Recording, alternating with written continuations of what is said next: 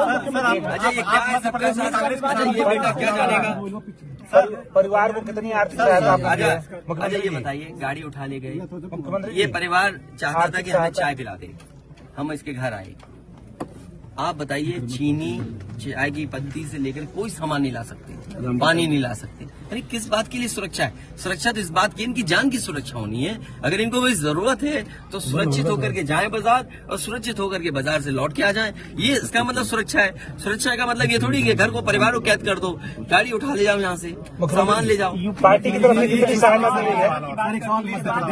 देखो मध्य प्रदेश का भी मत पूछो। मैं आपसे कह रहा हूँ कितनी सहायता दी गई? आर्थिक सहायता। नहीं आर्थिक सहायता नहीं। ये परिवार अगर पढ़ेगा लिखेगा जो पढ़ाई करना चाहेगा जो मदद कहेगा मैं करूँगा इस परिवार की हम मदद करेंगे।